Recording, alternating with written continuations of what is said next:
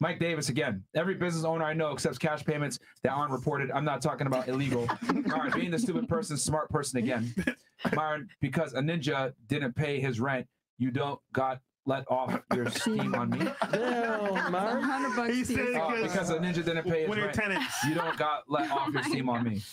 I was thinking about your funny though. Like, I'm like, it's kinda funny. Yo, my Mike Davis on your ass, dude. Yeah, he's like, yeah. Still low IQ comments. bro.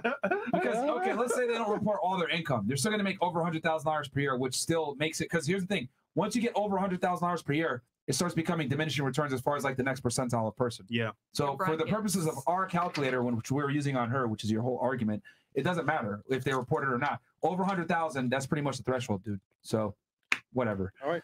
Uh, Al